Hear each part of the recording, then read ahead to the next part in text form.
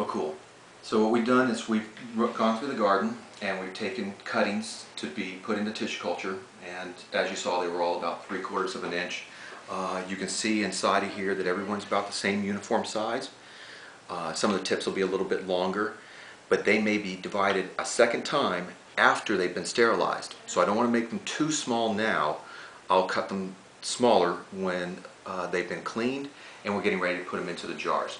So from what I have here, which is 1, 2, 3, 4, 5, 6, 7, 8, 9, 10, 11 pieces, we'll probably be able to further divide them into uh, like 13 or 14.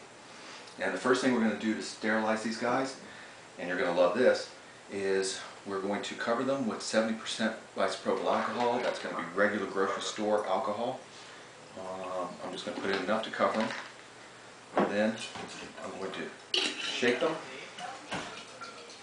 for 30 seconds. So you want to time this kind of stuff.